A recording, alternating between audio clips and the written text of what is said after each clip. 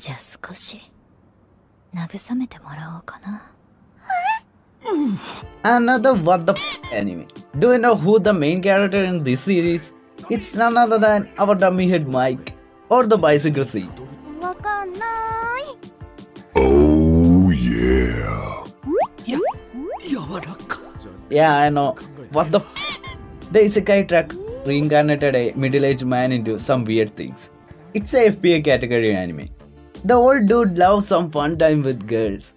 Who even made this anime? This clearly a fetish of a creepy old man.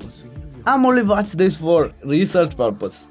Just for research purpose. まあそんなこと恋までしないとは言ってないけど一生挟まれててもいいかもしれない